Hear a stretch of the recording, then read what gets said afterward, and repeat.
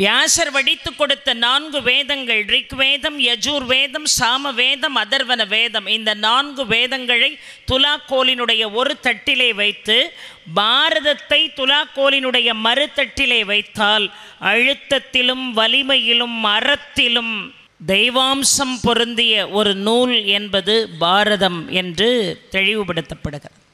நான்கு வேதங்கள் எப்பொழுதுமே துலாக்கோலிலே தாழ்ந்திருக்கக்கூடியதுதான் உயர்ந்தது என்று பொருள் இல்லையா? அழுத்தத்தில் கூடியது என்று பொருள் கனமானது என்று பொருள்.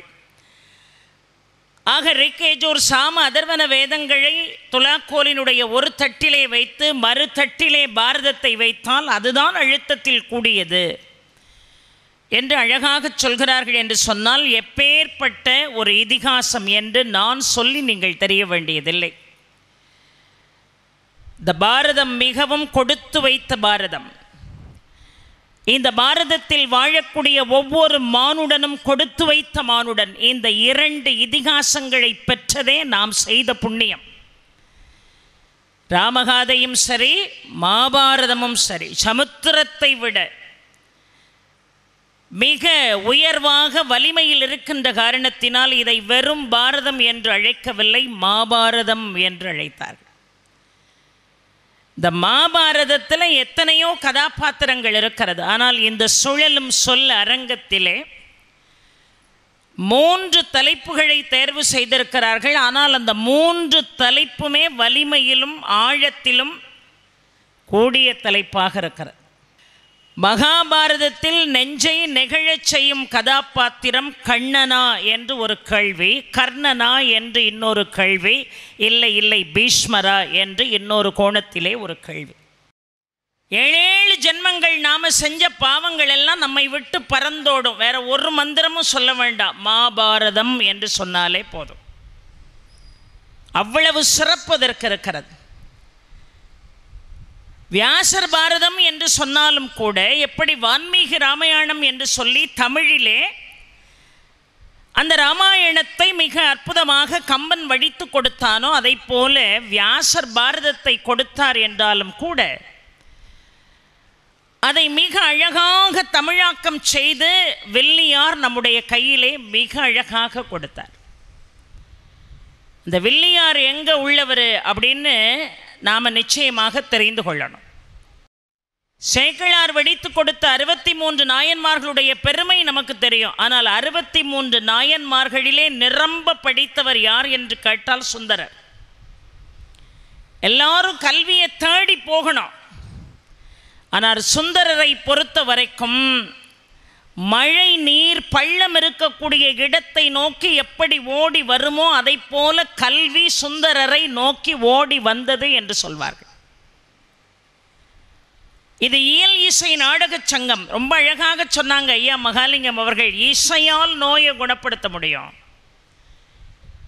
எனக்கு ரொம்ப கவலையாக இருக்கிறது இந்த நோயோடு கிடந்து மனிதன் போராடுகிறானே இதிலிருந்து அவன் வெளியே வருவது எப்படி? இசை அவனை காப்பாற்றும் என்று சொன்னார். ஏன்னா இந்த உடம்பை பேணு என்று ராமலிங்க சுவாமிகள் சொல்கிறார். காற்றாலே புவியாலே ககனமதலாலே கனலாலே புவியாலே கதிராதியாலே கூற்றாலே பிணியாலே கொலைக்கருவியாலே கோழாலே பிறையேற்றும் கொடுஞ்செயல்களாலே வேற்றாலே அழியாதே விழியாதே என்று எங்கனம் என்னை அழைக்கின்றாயோ அருட்பெரும் ஜோதி ஆண்டவன் உன் கண்முன்னால் வந்து நிற்பான் என்பது போல் பாடினார். காற்றாலே புவியாலே ககனமதலாலே கனலாலே புவியாலே கதிராதியாலே கூற்றாலே பிணியாலே கொலைக்கருவியாலே கோழாலே பிறையற்றும் கொடுஞ்சேல்களாலே வேற்றாலே எஞ்ஞான்றும் அழியாதே விளங்கும் மெய்யழிக்க வேண்டுமென்றேன் விரைந்தழித்தான் எனக்கே ஏற்றாலே இழிவன நீர் நினையாதீர் உலகீர் எந்த அருட்பெரும் ஜோதி இறைவனை சார்வீரை உடலை பேணு என்று சொன்னார். நோயை நீக்கக்கூடிய ஆற்றல் இசைக்கு உண்டு என்று சொன்னார். அதை நிரூபித்தது அறுபத்தி மூன்று நாயன்மார்களுடைய புராண செய்தி. அறுபத்தி மூன்று நாயன்மார்களில் இறைவன் ஓடோடி வந்து ஒருவரை தடுத்தாட்கொண்டான் அந்த பெருமை யாருக்குண்டு சுந்தரருக்குண்டு சுந்தரரை தடுத்தாட்கொண்ட இறைவன் சுந்தரரிடம் கேட்டது என்ன தெரியுமா? நாம் ஆயிரம் ஆயிரம் வரங்களை இறைவனிடம் கேட்போம். ஆனால் இறைவன் நம்மிடம் வரம் பெற காத்திருப்பான். அவன் எதிர்பார்க்கக்கூடிய ஒரே ஒரு வரம் தமிழால் பேசு என்பதுதான். இன்னைக்கெல்லாம் நேராக கொண்டு போய் குழந்தைகளை இங்கிலீஷ் மீடியத்தில் சேர்த்துட்டு ஆங்கிலத்தில் பேசினா தான் பெருமைன்னு நினைக்கிறோம். எல்லா மொழியையும் கற்றுக்கொள்ளலாம். ஒன்றும் தவறில்லை. இதைத்தான் கற்க வேண்டும் அதைத்தான் கற்க வேண்டும் என்பது இல்லை. கற்றது கைமண் அளவு கல்லாதது உலகளவு என்று சொன்னார்கள். ஆனால் உன் மொழிக்கு கொடுக்க வேண்டிய முக்கியத்துவத்தை முழுமையாக கொடுத்துவிட்டு நீ எந்த மொழியை வேண்டுமானாலும் படித்துக்கொள். தவறு என்பது இல்லை. மற்ற மொழிகளை படிப்பேன். என் மொழிகளினுடைய சுவாரஸ்யத்தை அழகை காற்றிலே பறக்க விடுவேன் என்று சொல்கின்ற பொழுதுதான் பிரச்சனையே ஆரம்பிக்கிறது. என் தமிழ் மொழிக்கு ஈடான ஒரு மொழி உண்டா என்று சொல்வது போல் என்ன அழகாக ஒரு சம்பவம் நடந்தது பாருங்கள். பெரிய புராணத்திலே இறைவன் தடுத்தாட்கொண்டான் சுந்தரரை. திருமணத்திற்கு வந்து திருமணத்தை தடை செய்வது போல தடை செய்து தடுத்தாட்கொண்டான். பிறகு வந்தவன் இறைவன் என்று அறிந்து கொண்டார் சுந்தரர். சுந்தரா என்னை பாடு என்று சொன்னான் இறைவன். சுந்தரா என்னை பாடு என்று மட்டும் சொல்லவில்லை. சுந்தரா என்னை தமிழால் பாடு என்று சொன்னார். சுந்தரா என்னை பாடு சுந்தரா என்னை தமிழால் பாடு என்று சொன்னார். தமிழால் பேசு என்று சொல்லவில்லை பாடு என்று சொன்னார். இயலையும் இசையும் உள்வாங்குவதற்கு நாடகக்காரனாக இருக்கக்கூடிய இறைவன் வலிந்து வந்தான் என்று பார்க்கிறோம். என்னை தமிழால் பாடு என்று சொன்னவுடன் முதலாவதாக இறைவனை பாடிய சுந்தரர் இந்தோழ ராகத்திலே பாடியதாக பெரிய புராணம் சொல்கிறது. இந்தோழத்தில் பாடினார். ஆனால் பாடுறதுக்கு முன்னாடி கேட்டார் நான் எப்படிப்பா உன்னை பாடுறது? நான் சாதாரண ஆளுப்பா. உன்னை பாடக்கூடிய அறிவு எனக்கு உண்டானார். எப்படி? மழை நீர் பள்ளத்தை நோக்கி ஓடி வருவது போல கல்வி சுந்தரரை நோக்கி படையெடுத்து ஓடி வருகிறது. அப்பேற்பட்ட சுந்தரர் தன்னை தாழ்த்தி கொண்டு சொல்கிறார் உன்னை பாடுவதற்கு எனக்கு எதப்பா தகுதி? இன்னைக்கு தகுதி இல்லாதவெல்லாம் தலைக்கு மேலே இருக்கிறனால தான் நாடு ஒரு மாதிரி ஆடிக்கிட்டு இருக்கு. இந்த பூமியெல்லாம் ஆடிக்கிட்டு இருக்கு. அவன் அவனுக்கு தான் தகுதி தெரிகிறதில்லை இறைவனே வழி ஆட்கொண்ட ஒரு அடியான் என் உன்னை பாடுவதற்கு எனக்கு ஏதப்பா அருகதையினார்.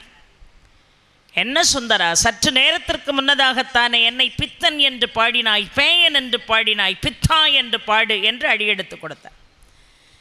ஒரு சுவாரஸ்யத்தை நல்லா கவனிக்கணும். சுந்தரரை ஆட்கொள்கின்ற பொழுது இறைவன் அவருக்கு பித்து என்று அடியெடுத்து கொடுத்தார். அருணகிரிநாத் சுவாமிகளையும் முருகப்பெருமான் ஆட்கொள்கின்ற பொழுது முத்து என்று அடியெடுத்து கொடுத்தார்.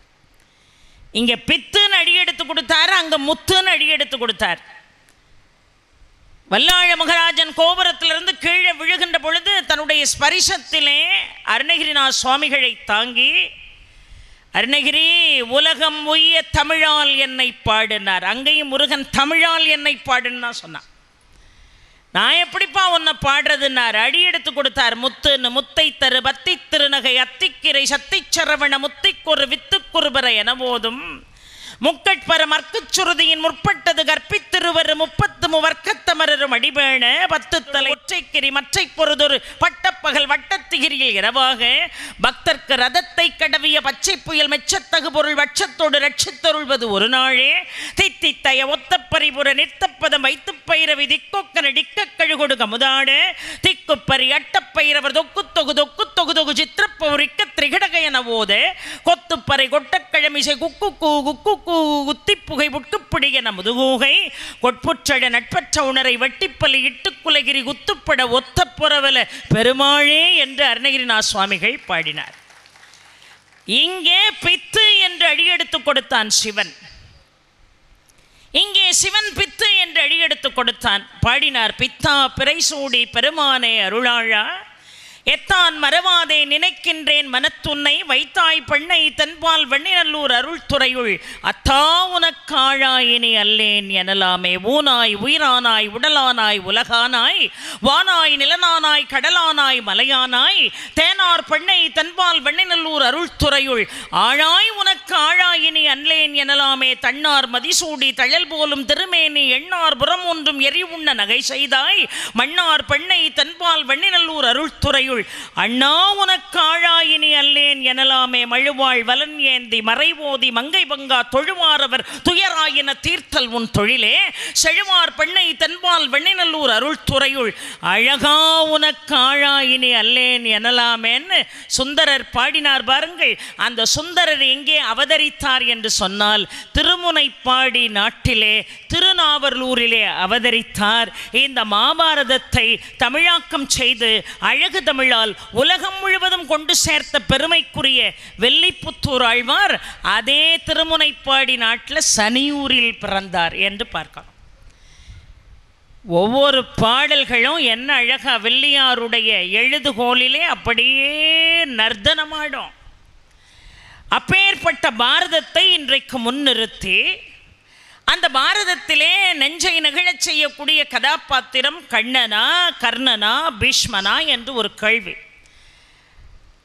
இதிலே கடவுளாக இருப்பவனாக கண்ணனை பார்க்கிறோம் இல்லையா? சொன்னாலும் சொல்லாட்டாலும் அவன் கடவுள்தான்.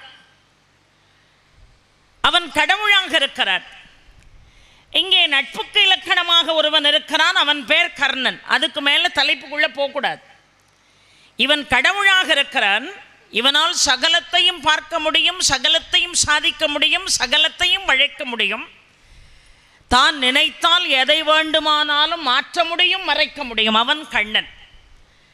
ஆனால் கர்ணன் நட்புக்காகவே தன் உயிரை கொடுத்தவன் கர்ணன். எல்லா தியாகங்களையும் செய்வது ரொம்ப எளிமை. ஆனால் தன்னுடைய உணர்வுகளை ஒருவன் தியாகம் செய்வது என்பது அவ்வளவு சாதாரணமான காரியம் கிடையாது பெரியோர்களே. இந்த மனிதனுடைய பலவீனம் அவனுடைய உணர்வுகள். அந்த உணர்வுகள் இந்த உடம்பினுடைய நரம்புகளை தட்டி எழுப்ப ஆரம்பித்து விட்டால் அந்த ஓட்டத்தை யாராலும் நிறுத்த இயலாது. அந்த ஓட்டத்தை எவன் ஒருவன் நிறுத்துகிறானோ அவன் கடவுளுக்கே சமமானவனாக மாறிவிடுகிறான். அப்படி உணர்வுகளை அடக்கி உணர்வுகளை வென்று உணர்வுகளை தூக்கி எறிந்த ஒரு அற்புதமான கதாபாத்திரமாக நாம் பீஷ்மரை பார்க்கிறோம். இதில் எப்பொழுதுமே முதல் வணக்கம் யாருக்கு? கண்ணனுக்கு தான். கண்ணனுக்கு தான் முதல் வணக்கம் சொல்லணும். ஒரே ஒரு விஷயம் சொல்லி மேடையை நான் இவர்கள் கையிலே கொடுக்க போகிறேன். அம்பு படுக்கையிலே பீஷ்மர் இருக்கிறார். அம்பு படுக்கையில் பீஷ்மர் இருக்கின்ற பொழுது இறைவனுடைய நாமத்தை மிக அழகாக எடுத்துச் சொல்கிறார். முதல்ல பீஷ்மர் சொல்கிறார் கிருஷ்ணரிடம் நீங்களே உங்களுடைய திருநாமாக்களுடைய மகிமைகளை எடுத்துச் சொல்லுங்கள். நான் சொன்னால் சரியாக இருக்காது நீயே அதை சொல் என்று சொன்னார். இப்போ அம்பு படுக்கையிலே இருந்து கொண்டு மிக அழகாக விஷ்ணு சகசிரநாமம் சொன்னார் இல்லையா? எல்லாருக்கும் நன்றாக தெரியும். இப்போ கந்த சஷ்டி கவசம் இருக்கிறது. கந்த சஷ்டி கவசத்தை இப்போ நான் சொல்ல ஆரம்பிச்சிட்டேன்னு வைங்க. முழுமையாக கந்தசஷ்டி கவசத்தை முடிச்சிடணும். பாதியில் நிறுத்திட்டு வேற ஏதாவது ஒரு வேலை வந்துட்டா விட்டதிலிருந்து தொடங்க முடியாது. பழையபடி முதல்ல இருந்து தொடங்கணும். ஆனால் விஷ்ணு சஹஸ்ரநாமம் சொல்லிக்கிட்டே இருக்கோம். இடையில ஒரு தடை வருகிறது. ஆனால் விஷ்ணு சஹஸ்ரநாமம் சொன்னதனுடைய முழுமையான பலனை பெறணும். என்ன செய்யணும்? நோய்வாய்ப்பட்டிருக்கோம். ஆயிரம் நாமாவழிகளை சொல்ல முடியாது. ஆயிரம் நாமாக்களுக்கு சமமான விஷயத்தை நான் சொல்லணும். என்ன பண்ணணும்? ஏனென்று சொன்னால் ஆயிரம் நாமாக்களை பீஷ்மர் தர்மனிடம் சொல்கின்ற பொழுது வானவீதியில் உலா வந்து கொண்டிருந்த பார்வதி சிவனிடம் கேட்டாளா ஆயிரம் நாமாக்களை ஞானிகள் சொல்வது மிக எளிமை. கற்றவர்கள் சொல்வது மிக எளிமை. ஆனால் பாமரன் எப்படி இதை சொல்வது? பாமரன் இதை எப்படி சொல்லி பயனடைவது என்று பார்வதி கேட்டவுடனே சிவன் சொன்னாரா விஷ்ணு சஹஸ்ரநாமம் ஆயிரம் நாமாக்களை கொண்டது சாதாரண சாமானியனும் சொல்லணும்னா இந்த ஆயிரம் நாமாக்களை சொல்லணுங்கிற அவசியம் இல்லை. ஸ்ரீராம ராமே ராமேதி ரமே ராமே மனோரமே சகசிரநாம தத்துல்யம் ராமநாம வரானனேன்னு இந்த ரெண்டு வரியை சொன்ன ஆயிரம் நாமங்கள் சொன்னதற்கு சமம் என்று நான் சொல்லவில்லை எம்பெருமான் சிவன் சொல்கிறார். ஸ்ரீ ராம ராம ராமேதி ரமே ராமே மனோரமே சகசிரநாம தத்துல்யம் ராமநாம வரானனே. இந்த ஆயிரம் நாமங்கள் இருக்கு. சரி இந்த லகுமாராயணம்னு பேர் இப்போ நான் சொன்னதுக்கு அம்மா எங்களுக்கு லகுமாராயணம் சொல்லலாம் நேரம் இல்லைம்மா. இந்த சமஸ்கிருத வார்த்தைகளை எல்லாம் சொல்றதுக்கு நேரம் இல்லை எனக்கு சொல்ல தெரியல. நான் என்ன செய்யணும்? எளிமையான ஒரு வழியை சொல்லுங்க. ஆயிரம் நாமங்கள் சொல்ல வேண்டாம். அஞ்சே ஐந்து நாமங்கள் சொல்லுங்கள் போதும். ஐந்தே ஐந்து நாமங்கள் சொல்லுங்க போதும். காலையில் எந்திரிச்சு அந்த அஞ்சு நாமம் சொன்னால் விஷ்ணு சகசர நாமம் முழுமையாக சொன்ன பலன் உண்டு. முதல் நாமம் என்ன தெரியுமா? நாராயணாங்கிற நாமம். ரெண்டாவது நாமம் என்ன தெரியுமா? கிருஷ்ணா என்கின்ற நாமம். மூன்றாவது நாமம் ராமா என்கின்ற நாமம். நான்காவது நாமம் கோவிந்தா என்கின்ற நாமம். ஐந்தாவது நாமம் நரசிம்மா என்கின்ற நாமம். அஞ்சு நாமம் சொல்லலாம் தானே? எளிமையாக இருக்கா இல்லையா? நாராயணா என்று ஒரு நாமம் கிருஷ்ணா ராமா கோவிந்தா நரசிம்மா என்று ஒரு அற்புதமான ஒரு நாமம். முதல்ல நாராயணாங்கிற நாமத்தை சொல்லுங்க. துன்பம் உங்களை விட்டு முழுமையாக ஓடி போகணுமா? நாராயணா நாராயணா நாராயணான்னு சொல்லிக்கிட்டே இருக்கணும். அதனால தான் பாசுரத்தை தொடங்கிய ஆண்டாள் தெளிவாக பாடினாள். மார்கழி திங்கள் மதி நிறைந்த நன்னாளால் நீராட போதுவீர் போதுமினோ நேரிழையீர். சீர்மல்கு ஆயர்பாடி செல்வச் சிறுமீர்கள். கூர்வேல் கொடுந்தொழிலன் நந்தகோபன் குமரன். ஏறார்ந்த கண்ணி யசோத இளஞ்சிங்கம். கார்மேனி செங்கண் கதிர்மதியம் போல் முகத்தான். நாராயணனே நமக்கே பறை தருவான். பாரூர் புகழ படிந்தேலோரம்பாவாயினான் பாசுரத்தினுடைய முதல் பாடலே நாராயணனே நமக்கே பறை தருவார். நல்ல கவனிங்க பெரியோர்களே. மார்கழி திங்கள் மதி நிறைந்த நன்னாளால் நீராடப் போதுவீர். போதுமினோ நேரிழகீர். சீர்மல்கு ஆய்வாடி செல்வச் சிறுமீர்கள். கூர்வேல் கொடுந்தொழில நந்தகோவன் குமரன். ஏறார்ந்த கண்ணி யசோத இளஞ்சிங்கம். கார்மேனி சங்கன் கதிர்மதியம் போல் முகத்தான். நாராயணன் நமக்கு பறை தருவான்னு பாடுனா தப்பா தமிழில்? தப்பு இல்லை நாராயணன் நமக்கு பறை தருவான் ஆண்டாள் பாடியிருக்கலாம். ஆனால் ஏன் பாடலை? நாராயணனே நமக்கே பறை தருவான். இப்போ நான்லாம் படித்தது வரலாற்றுத்துறை தமிழ்துறை இல்லை. ஆனால் தமிழ்துறையில் முனைவராக இருக்கிறவங்ககிட்ட ஒன்று கேட்க நாராயணனே அப்படின்னா ஏகாரம்னு பொருள் இல்லையாமா தமிழில்? சரிதானே நான் சொல்கிறது இறைவனை மட்டும்தான் ஏகாரத்தில் பாடணும் பெரியோர்களே. நாராயணனே நமக்கே பறை தருவான் இறைவனை மட்டும்தான் ஏகாரத்தில் பாடணும். சாதாரண மானுடர்களை அல்ல. ஆனால் நம்ம இறைவனை தவிர மிச்ச எல்லா வயலையும் ஏகாரத்தில் பாடுவோம். ஒரு கல்லூரிக்கு முதல்வராக இருப்பார் கரஸ்பாண்டாக இருப்பார் இவன் எழுநூறு மார்க்கு தான் பிள்ளையாண்டா வாங்கியிருப்பான். தகப்பன் பிள்ளைய கூட்டிகிட்டு போய் நின்று என் பையனுக்கு உங்கள் கல்லூரியில் எப்படியாவது ஒரு சீட் கொடுத்துருங்க. உங்களையே நம்பியிருக்கேம்மா. ஏகாரத்தில். கடவுளை நம்ப மாட்டான். கல்யாண வயசில் எனக்கு ஒரு பொண்ணு இருக்குது ஒரு அஞ்சு பவுனு குறையுது உங்களையே நம்பியிருக்கேன் அப்படிம்மா. உங்களையே நம்பியிருக்கேன் உங்களையே நம்பியிருக்கேன்னு என்ன செய்வான்? ஏகாரத்தில் பாடுவான். இறைவனை மட்டும்தான் ஏகாரத்தில் பாடணும் கூப்பிட்டோன்னு வருவான். நாராயணனே நமக்கே பறை தருவான். மிக அருமையான ஒரு நாமம். ரெண்டாவது கிருஷ்ணா கிருஷ்ணான்னு கூப்பிட்டா கிருஷ்ணா உடனடியாக ஓடி வந்துடுவான் கிருஷ்ணவன் அழைத்தவன் குரலுக்கு ஓடோடி வரக்கூடியவன் யாரு? கிருஷ்ணன். ஆனால் எல்லா லீலைகள் மாயைகள் அருமையாகச் செய்வான். ஒரு ஏழு அந்தனை கிருஷ்ணன் கோயிலில் போய் அப்பா நல்லா இருப்பப்பா நான் பெரிய கோடியை கேட்கல பெரிய ராஜ பதவியை கேட்கல. என் குடும்பம் பிழைக்கிறதுக்கு ஒரு பசுமாடு கொடுப்பா போதும் பால் கறந்து பிழைச்சிக்கிறேன்னு ஒரு பசுமாட்டு படத்தை வரைச்சி கிருஷ்ணர் பாதத்தில் வச்சுட்டு வீட்டுக்கு போயிட்டான். ரெண்டு நாள் கூட ஆகலை. ஐயா மாதிரி ஒரு செல்வந்தர். அந்த அந்தணனை கூப்பிட்டு அப்பா என் வீட்டில் ஒரு பசுமாடு இருக்குது என்னால் பராமரிக்க முடியல. உன் கையில் கொடுத்துட்ற நீ பொழைச்சிக்கோ. அப்படின்ட்டார். இவன் பசுமாட்டை பிடிச்சிட்டு நேராக வீட்டுக்கு வந்தான். பிள்ளை குட்டி எல்லாம் ஓடி வந்து பார்க்குது. நம்ம வீட்டில் ஒரு புது கார் வாங்கினா எல்லாரையும் கூப்பிட்டு காட்டுவோம் பாருங்கள் அதை மாதிரி. எல்லாம் பசுமாட்டை முன்னுக்கு முன்னுக்கு திரும்பி பார்த்துக்கிட்டு இருந்தாங்க. வீட்டில் இருந்த கடைக்குட்டி கேட்டான் எப்பா அந்த வாத்தியார் உன்னை கூப்பிட்டு மாட்டை வளர்க்க முடியலன்னு பசுமாட்டை கொடுத்தாரு. ரொம்ப தாராளமாக தர்ம சிந்தனையோடு கொடுத்துட்டாருன்னு நினைக்காத. இந்த மாட்டை பற்றியா வால் இல்லை பாரு. மாட்டுக்கு அழகே வால். வால் இல்லாத மாட்டை உன் தலையில் கட்டியிருக்காருன்னா இவன் நேராக கிருஷ்ணர்கிட்ட ஓடினான். கிருஷ்ணா உனக்கு ஒரு பொருளை நாங்கள் படைச்சோம்னு சொன்னால் அதில் குறைபாடு இருந்தால் செய்கிற பொங்கலை வாயில் போட்டு பார்த்துட்டு உனக்கு நைவேத்தியம் பண்ணால் ஒத்துக்கிடுவியா?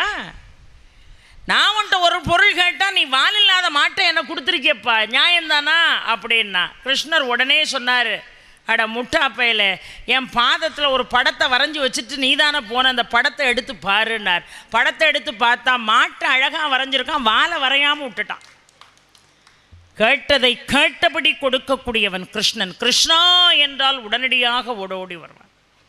அது மாதிரி ராமநாமம் சாதாரணமான நாமம் அல்ல. ராமா ராமா ராமா ராமா. பத்தாயிரம் கோடி மந்திரங்கள் சொன்ன பலன் பத்தாயிரம் முறை ராமநாமம் சொன்னால் கிடைக்கும் பெரியவர்களே ராமநாமத்தினுடைய மகிமை என்ன தெரியுமா? பட்டாபிஷேகத்தில் எல்லாரும் உட்கார்ந்துருக்காங்க. ஆஞ்சநேயர் ஒவ்வொருத்தரையா போய் வணங்குறாரு. நாரதர் இருக்கக்கூடிய இடம் கலகம் ஆனால் நன்மையில் தான் முடியும். நாரதர் ஆஞ்சநேயரை கூப்பிட்டாரு ஏன் ஒவ்வொருத்தரையாக கும்பிட்டுக்கிட்டே இருக்க? அப்படின்னார். ஐயோ வணக்கம் சொல்கிறது நம்ம மரபு இல்லையாடினார் எல்லா மரபும் ஒரு பக்கம் இருக்கட்டும். எல்லாரையும் கும்பிடு இந்த உட்காந்துருக்காரு பார் விஸ்வாமித்திரர் அவரை மட்டும் கும்பிடாதன்னார். என்னங்க எல்லாரையும் வணக்கம் சொல்லிட்டு விஸ்வாமித்திரரை மட்டும் வழிபடலைன்னா எப்படி? நான் சொன்னதை கேளு அதுக்குள்ளே ஒரு பெரிய சூட்சம் இருக்குன்னார். சரின்னு எல்லாரையும் கும்பிட்டுக்கிட்டு போறாரு. விஸ்வாமித்திரர் உட்கார்ந்துருக்காரு. அவரை தாண்டி அடுத்த ஆளுக்கு வணக்கம்னார். சும்மாவே கோபம் முனிவர்களுக்கு தலைக்கு மேலே ஏறும். விஸ்வாமித்திரருக்குன்னா ஆத்திரம் தாங்கலை. என்ன இவன் நம்மளை மட்டும் வணங்காமல் போகிறான் அப்படின்னு எட்டி எட்டி பார்க்கறாரு ஒருவேளை மறந்து போயிட்டான் போலன்னு. அவர் பார்க்குறாரு விஸ்வாமித்திரரை ஆனால் வணக்கம் சொல்லலை. உடனே கோவம் வந்துருச்சு. ராமன்கிட்ட கேட்டாரப்பா நான் உன்னுடைய குரு. சகல வித்தைகளையும் கற்றுக் கொடுக்கும்படியாக முதல் முதலாக உன்னை என் கையில் ஒப்படைச்சார் உங்கள் அப்பா தசரதன் எனக்கு ஒரு அவமானம்னா நீ என்னப்பா செய்வேன்னார். என்ன ஒருத்தன் அவமதிக்கிறான் நீ என்ன செய்வ? உன்னை அவமதிப்பவனுக்கு மரண தண்டனை தான்னா. ராமன் மரதண்ட மரண தண்டனை தான் உன்னை அவமதிக்கிறவனுக்குன்ட்டான். ஆனால் ஆஞ்சநேயர்னு அவருக்கு தெரியாது. யார் உங்களை அவமதித்தார் என்று கேட்டபோது ஆஞ்சநேயரை கையை காட்டினார். ராமனும் சீதையும் ஒன்றாக இணைவதற்கே பாலமாக இருந்தவன் அல்லவா ஆஞ்சநேயன்? இலங்கை வரைக்கும் போயிட்டு வந்து விற்பெரும் தடந்தோள் வீர வீங்கு நீர் இலங்கை வெற்பில் நற்பெரும் தவத்தழாய நங்கையை கண்டேனல்லே நிப்பிறப்பென்பதொன்றும் இரும்புற என்பதொன்றும் கற்பெனும் பெயரதொன்றும் கழிநடம் புரிய கண்டேன்னு சொன்னவன் இல்லையாமே இப்போ அவனுக்கே மரண தண்டனையான்னு ராமன் கொஞ்சம் கூட யோசிக்கலை. உடனே வில்லையும் அம்பையும் கையில் எடுத்துட்டார். என் குருவுக்கு ஒருத்தர் துரோகம் செய்தா அது ஆஞ்சநேயராக இருந்தாலும் மரணம் தான் ஏன்னா சுசீந்திரம் ஆஞ்சநேயரை நினைக்கணும். அப்படி வில்லையும் அம்பையும் சரி செஞ்சு பிரம்மாஸ்திரத்தை விட இருக்கிறார் ராமன். இப்போ பிரம்மாஸ்திரம் ஆஞ்சநேயரை நோக்கி புறப்பட்டு போகிறது. ராமன் கையில் உள்ள பிரம்மாஸ்திரம் புறப்பட ஆரம்பித்தால் அழிவு உறுதி. ஆஞ்சநேயரை நோக்கி பிரம்மாஸ்திரம் போது ஆனால் ஆஞ்சநேயர் கவலையே படலை. அவர் வாட்டுக்கு கண்களை மூடிக்கொண்டு ராமா ராமா ராமா ராமா ராமா ராமான்னார். போன பிரம்மாஸ்திரம் ராமங்கையிலிருந்து போனா கூட மழை நீர் பாறை மீது விழுந்தால் எப்படி கூர் மழுங்கி போகுமோ அது மாதிரி மழுங்கி போச்சு. ஆஞ்சநேயரை ஒன்றும் செய்ய முடியல. என்னப்பா பிரம்மாஸ்திரத்தால் ஆஞ்சநேயரை ஒன்றும் செய்ய முடியலன்னு பிரம்மசீர்ஷாஸ்திரத்தை எடுத்தார். பிரம்மாஸ்திரம் மாதிரி லட்சம் மடங்கு சக்தி வாய்ந்தது பிரம்மசீர்ஷ மந்திரம் அந்த பிரம்மசீர்ஷ மந்திரத்தை சொல்லி பிரம்மசீர்ஷ அஸ்திரத்தை எடுத்து ஆஞ்சநேயர் மீது பிரயோகம் செய்ய தயாரான போது விஸ்வாமித்திரர் ராமனுடைய கைகளை பற்றி கொண்டார். வேண்டாம். நீ பிரம்மாசனம் இல்லை சக்தி வாய்ந்த பிரம்மசீர்ஷ அஸ்திரத்தை அனுப்பினால் கூட இந்த ஆஞ்சநேயனை ராமா உன்னால் ஒன்றும் செய்ய இயலாத காரணம் அவன் சொல்வது உன் நாமம் என்று சொன்னார். அவ்வளோ பெரிய சக்தி அந்த ராமநாமத்துக்கு. நாலாவது கோவிந்தான்னு ஒரு ராமம். கோவிந்தாங்கிற நாமத்தை சொன்னால் ஒரு துன்பம் நம்ம வாழ்க்கையில் வருதுன்னு வைங்களேன் தீர்க்க முடியாத ஒரு துன்பம் நம்முடைய வாழ்க்கையில் இருக்குது அது கடன் பிரச்சனையாக இருக்கலாம் உறவு பிரச்சனையாக இருக்கலாம் உடல் பிரச்சனையாக இருக்கலாம். நீங்கள் சொல்ல வேண்டிய மந்திரம் என்ன தெரியுமா? கோவிந்தா கோவிந்தா கோவிந்தாங்கிற மந்திரம்.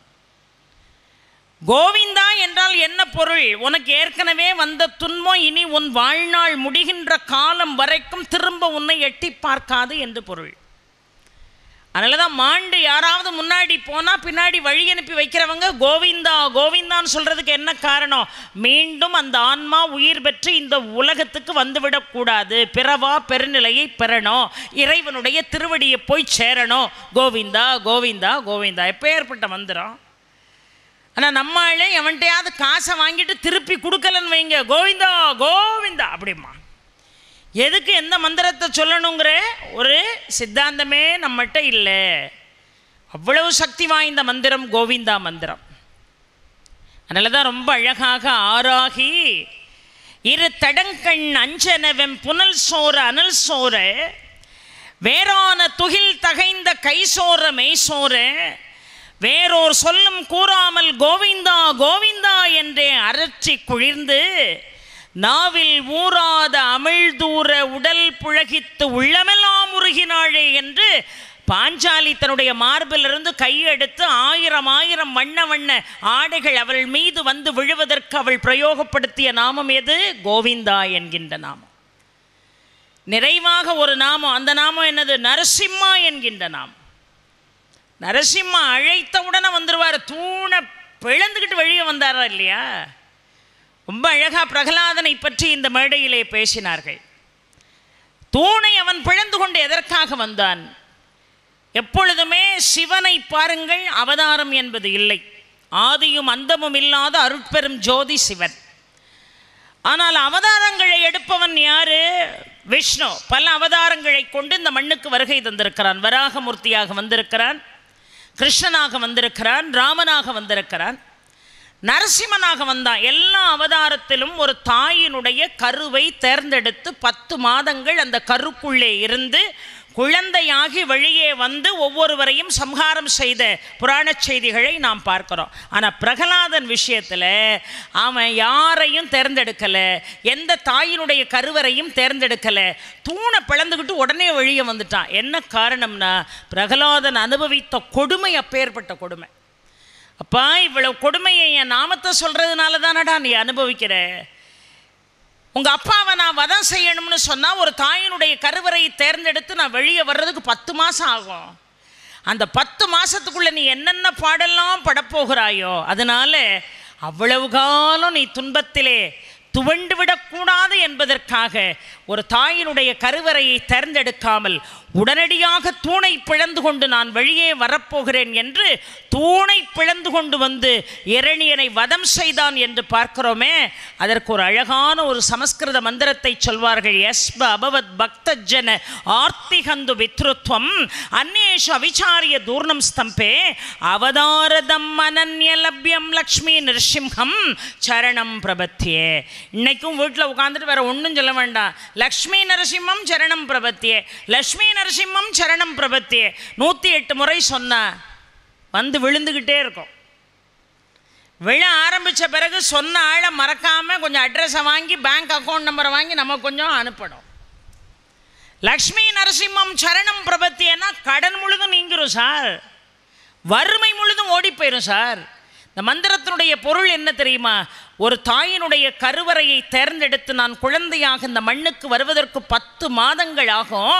அது வரைக்கும் உன்னை துன்பப்படுத்த நான் விரும்பலை. அதனால் தூணை பிளந்து கொண்டு வெளியே வந்து உடனடியாக இரணிய கபசுனுடைய அராஜகத்திற்கு ஒரு முற்றுப்புள்ளி வைக்கிறேன் என்று பொருள். எஸ்ப அபவத் பக்த ஜன ஆர்த்திகந்து வித்ருத்வம் அந்நேஷ அவிச்சாரிய தூர்ணம் ஸ்தம்பே அவதாரதம் அனன்ய லப்யம் லக்ஷ்மி நரசிம்ஹம் சரணம் பிரபத்தியே ஆக ஆயிரம் நாமங்களை சொல்ல முடியவில்லை என்று சொன்னால் ஐந்தே ஐந்து நாமங்களை சொல்லுங்க. ஏன்னா இந்த கலியுகத்தில் ரொம்ப முக்கியமானது நாமத்தை சொல்வது. நாமி பெரியவனா நாமம் பெரியதா? நாமி என்றால் இறைவன் நாமம் என்றால் அவனுடைய பெயர்கள். இப்போ என் வீட்டில் ஒரு ஐநூறு தங்க கட்டி இருக்கு. இருக்குன்னு நினச்சி யாராவது இன்கம் டேக்ஸுக்கு எழுதி போட்டக்கூடாது ஒரு கற்பனை. ஒரு அஞ் ஐநூறு தங்க கட்டியும் சுசீந்திரத்துக்கு என்ன பேச கூப்பிடுறாங்கங்கிறக்காக தலையில் ஒரு பத்து தங்க கட்டி காதில் ஒரு பத்து பதினஞ்சு தங்கக்கட்டி கழுத்தில் ஒரு தங்கக்கட்டி இடுப்பில் வரிசையாக ஒட்டியானத்துக்கு பதிலாக தங்கக்கட்டியை தொங்க விட்டுட்டு வந்தேன்னு வைங்க. எங்கள் ஐயன் சுப்பிரமணிய பிள்ளை சொல்லுவார் இந்த அம்மாவுக்கு ஏன் இந்த ஆசை? இவ்வளோ வயசில் இதுக்கு இவ்வளவு அலட்டல் தேவையா இவ வீட்டில் தான் தங்கக்கட்டி இருக்குன்னு இப்படியா தங்கக்கட்டி அடிக்கிட்டு இந்த அம்மா வரும் அப்படின்னு சொல்லுவாங்க. அதுவே நான் தங்க கட்டியை ஆபரணமாக்கி கழுத்தில் போட்டுட்டு வந்தேன்னு வைங்க. அம்மா கேட்பாங்க அம்மா அந்த நெக்லஸ் எங்கம்மா வாங்குனீங்க? என்ன அழகாக இருக்குது தங்க கட்டி ஆபரணமாக மாறும்போது இதற்கு இன்னும் மகிமை அதிகமாகி விடுகிறது. இப்போ தங்க கட்டியாக இருப்பவன் இறைவன் தான் அவன்தான் நாமி. அவனுடைய நாமம் தான் இந்த மாதிரி ஆபரணம். ஆபரணம் செய்வதற்கு மூலப்பொருளாக தங்கமே இருந்தாலும் கூட கட்டியை விட ஆபரணத்துக்கு தான் மரியாதை அதிகம்னு நான் சொல்லலை.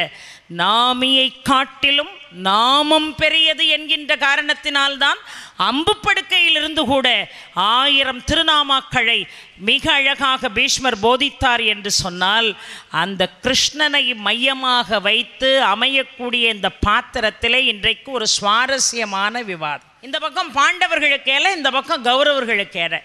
காலையில் போருக்கு புறப்பட்டு போகிறதுக்கு முன்னாடி இந்த போஜராஜன்ட்ட வந்து சாதாரண சமயக்காரன் கேட்பான் இன்னைக்கு எத்தனை பேருக்கு சமைக்கணும்? இப்போ இந்த பக்கம் ஒரு நூறு பேர் ஒரு கணக்குக்கு சொல்கிறேன் இந்த பக்கம் ஒரு நூறு பேர் இருக்காங்கன்னா காலையில் புறப்பட்டு போகும்போது நான் சாயங்காலம் எத்தனை பேருக்கு சமைக்கணும்னு ஏன் கேட்குறான் ஏன்னா நூறு நூறும் திரும்பி வர போகிறதில்ல அதில் ஒரு பத்து பயிரும் இதில் ஒரு பதினஞ்சு பயிரும். அப்போ இதில் ஒரு பதினஞ்சை கழிச்சா எண்பத்தஞ்சு. கணக்கு சரிதானம்மா? அதில் ஒரு பத்து போயிட்டுனா தொண்ணூறு. அப்போ தொண்ணூறு எண்பத்தஞ்சு எவ்வளவு? தப்புன்னு சொல்லுங்க. நூற்றி கணக்கு சரிதானா? ஏன்னா நான் கணக்கில் வீக்கு. அப்போ நூற்றி எழுபத்தஞ்சு பேருக்கு தான் சாயங்காலம் இலை போட்டிருக்கோம். பக்கத்தில் ரெண்டு இலை போட்டிருக்கோம். அப்போ கணக்குக்கு நூற்றி எழுபத்தி ஏழு இலை தான். எல்லாரும் போருக்கு போயிட்டு சாயங்காலம் வருவாங்க. சரியாக நூற்றி எழுபத்தேழு இலை போடுவான். சரியாக நூற்றி எழுபத்தி ஏழு பேர் தான் சாப்பிடுவாங்க. ஒரு நாள் இவனுக்கு சந்தேகம் வந்தது. பிறக்கிறத கூட ஆறு அஞ்சு ஏழு எட்டுன்னு சொல்லிடலாம். இறப்பை யாராவது சொல்ல முடியுமா? காலையில் போருக்கு புறப்பட்டு போகிறான் இதில் பதினஞ்சு பேர் போயிடுவான் இதில் பத்து பேர் போயிடுவான் இன்னைக்கு இருபத்தஞ்சு பேர் திரும்ப மாட்டாங்கிற கணக்கு.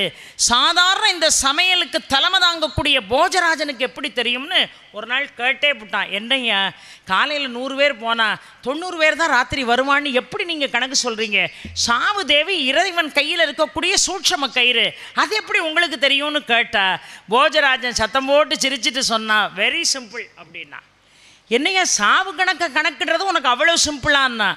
ஆமையா அந்த பக்கம் கௌரவர்கள் இந்த பக்கம் பாண்டவர்கள் நடுவில் ரெண்டு இலை இருக்கா என் பக்கத்தில் கிருஷ்ணன் உட்காந்துருப்பானா நான் சாப்பாடு போட்ட உடனே முதல்ல எடுத்து சாப்பிட மாட்டேன். கிருஷ்ணன் என்ன செய்கிறான்னு பார்ப்பேன். ஒரு முழு முந்திரி பருப்பை தூக்கி விழுங்கினான்னா ஐம்பதாயிரம் பேர் அவுட்டுன்னு அர்த்தம். ஒரு அரை முந்திரி பருப்பை தூக்கி விழுங்கினாருன்னா இருபத்தஞ்சு பேர் செத்து போயிடுவான்னு அர்த்தம். இந்த கணக்கை வச்சு தான் சமையல் கணக்கை நான் சொல்கிறதுன்னு சொல்லுவானே.